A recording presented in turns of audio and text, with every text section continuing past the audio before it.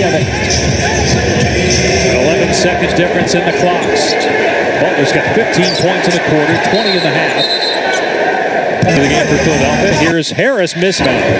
Well, it's been that kind of a day shooting the ball. Philly is three for 24 for the three-point line. I thought that was a foul. It was, and it didn't.